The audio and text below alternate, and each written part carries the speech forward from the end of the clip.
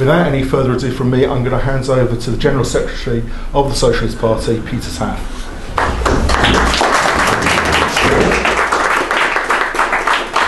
Well, Comrade Chair and comrades, I thought Bob did very well in that introduction. In fact, I don't know whether I can really add very much to the outline that he's given. But he's, as he correctly said, in St. Paul's yesterday, David Cameron made the statement, which contradicts, by the way, what he said on the eve of the last general election, that we're all Thatcherites now. That was a kind of imitation in an opposite sense of what Harold Macmillan said in the 1960s that we're all planners now because he recognized the gains that had been made on the welfare state. The conquests, if you like, from the pressure of the working class in Britain in establishing the welfare state in the immediate period after the Second World War. And that was an international process. Because in Britain, you could say, due to the pressure of the working class, and in particular, of the generation that went through the Second World War in the 1930s, the determination was never to go back to those conditions of mass unemployment. And the pressure of the working class forced really right wing Labour, wasn't a left Labour government in any sense of the term, to carry through a quarter of a revolution, to establish the National Health Service, to begin to nationalise the mines and other industries and keep, create the infrastructure, if you like, of what they called was a mixed economy. It was still capitalism, but they were forced to recognise the pressure and the gains of the working class. And when Cameron made that statement in St. Paul's, it was not an accident at all. It was true, by the way, in relation to the ruling class. And let's be clear about this.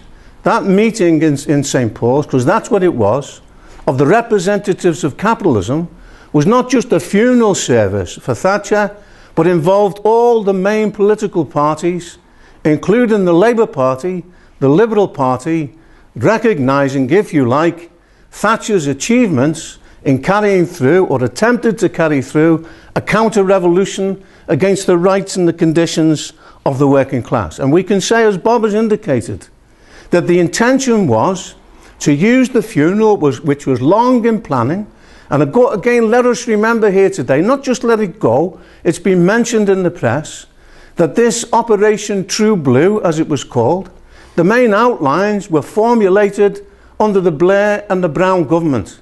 They were not only complicit in the preparations for this funeral of an estimated 10 million pounds being made, they were the main instigators, and it was shown by the pictures of Tony Blair that appeared in the Financial Times at the weekend that we're going to carry in the next issue of Socialism Today.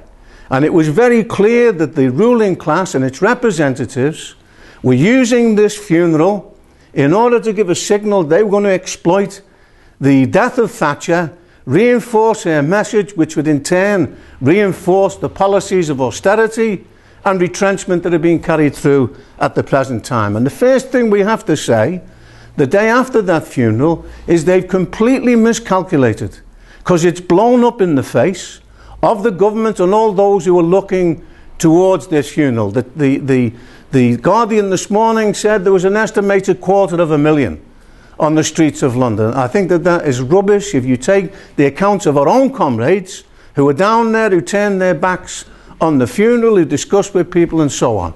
And it was largely confined to the southeast. You had a divided uh, uh, country, not just in the southeast, in the centre of London is where it was expressed, and perhaps in the shires and so on. But as far as the rest of the country is concerned, it's absolutely incredible the level of visceral hatred that was reserved for a funeral, after all. This is not the state opening of Parliament. This is not the election of a new government. This is a funeral for one individual. And why did the protest take place? It's obvious to us who are gathered here, gathered here today, but it's important to make these points. Number one, it reminded the older generation of what Thatcher did in the course of a whole reign, not just in the 1980s, but particularly from 1979 to 1991 92. And as Bob pointed out, I'll comment on that in a moment, that led to the growth of the militant and the Socialist Party as a factor in the situation in Britain and to some extent internationally at that stage. It reminded the older generation of what she did. And for the young people, when I went on the radio last week to BBC local radio for one and a half hours, I spoke to an estimated 10 million people. In the same interview, repeated endlessly to BBC London, BBC Merseyside, BBC Scotland, and so on.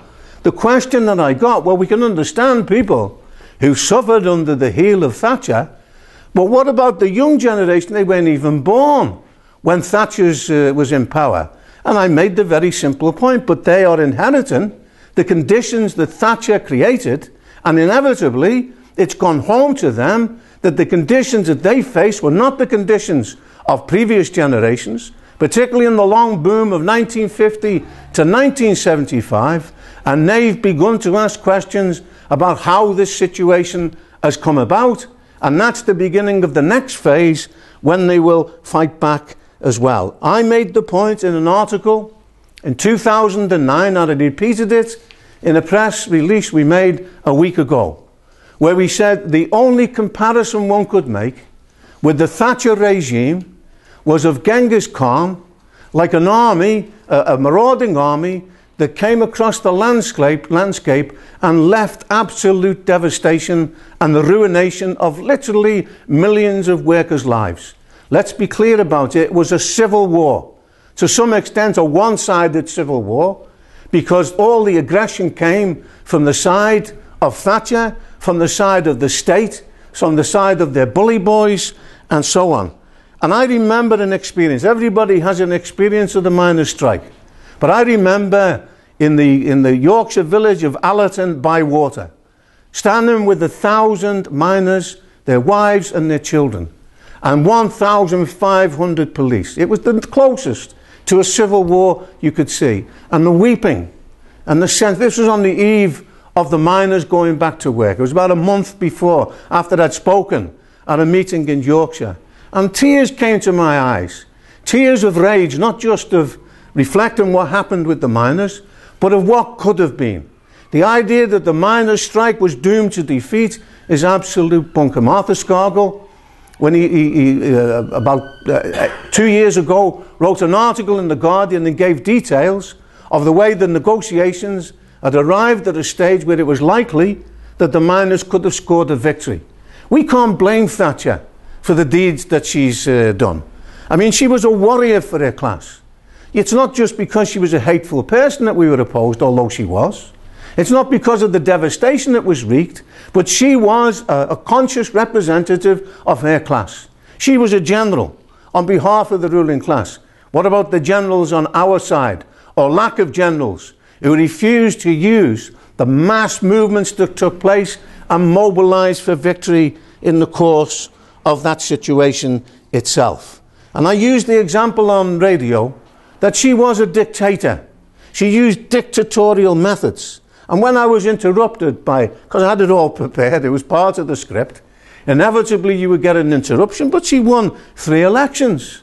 Said uh, in, inevitably, in four or five occasions, that's what the interviewer said. I said, yes, she won three or four elections, but let us listen to a very authoritative figure. John Stalker, who was the Deputy Chief Constable in Manchester at the time, in the Daily Mirror, last week, a couple of days after she died, she took us to, to the brink of being a police state.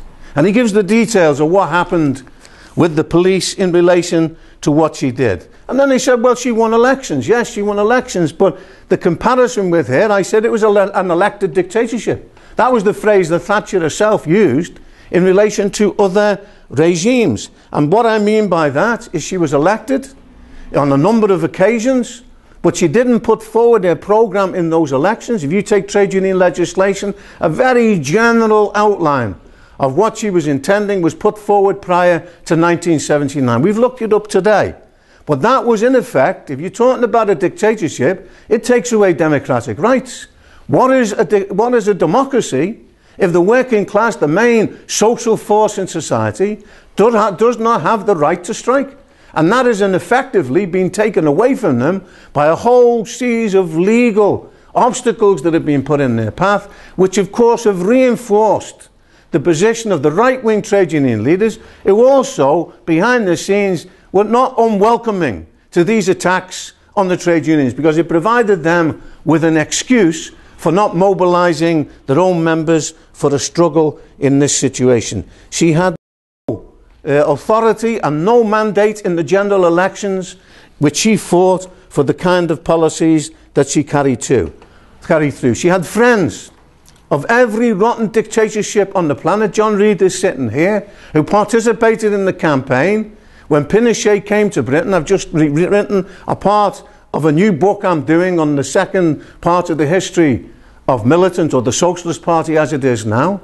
And in that, you got, went through the conspiracy between Jack Straw, who was the Home Secretary of Labour, of Thatcher and the Thatcherites, who immediately came to the defence of Pinochet in relation to his threatened imprisonment and him being repatriated to Spain, where he would have stood, stood uh, uh, in, in the court for, for crimes against humanity, specifically for torturing and murdering the flower of the Chilean working class during his regime. It wasn't just in, in relation to Pinochet. Look at last week's Observer, last Sunday's Observer, which gave a very clear picture of a conspiracy involved with Mark Thatcher and uh, this fellow man, Simon Mann, in relation to Equatorial Guinea.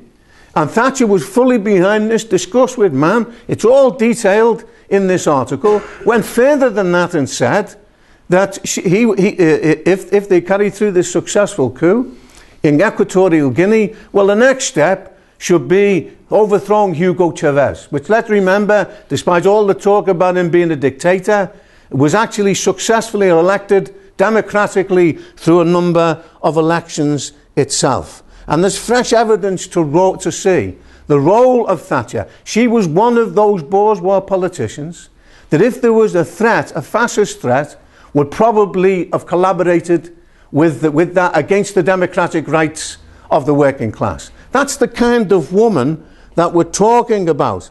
And then there's the shameful scapegoating. If you look at the BBC yesterday and the media in general, it was an arm of capitalism like we haven't seen for a long time. It was an open representative of extolling the virtues of the funeral, even though probably a minority in Britain were actually supporting uh, what they were seeing on the television itself. And that's not an accident.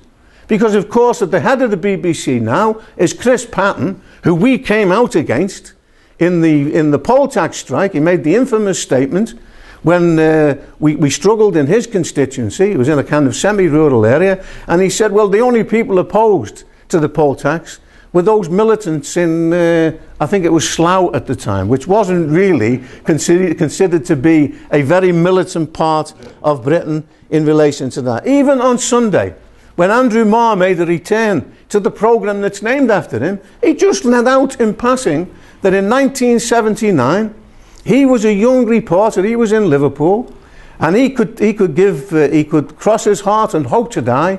But the councillors in Liverpool, at the time when the so-called, they weren't burying the dead, which is a lie and a myth, that Liverpool Council then, it was a minority Labour council, were planning to drop the, the dead into the sea as a means of solving their problem. It was just passed just like that. No comment, just accepted it's an out, outright lie, and it's a slander, of course, against the working class of Liverpool itself. It wasn't an accident The two sets of fans, one at Reading and one at Arsenal the other night, where the Everton fans had a banner, and they were, it wasn't in Liverpool, it was outside of Liverpool, in which they had a banner and they said, Thatcher, rot in hell.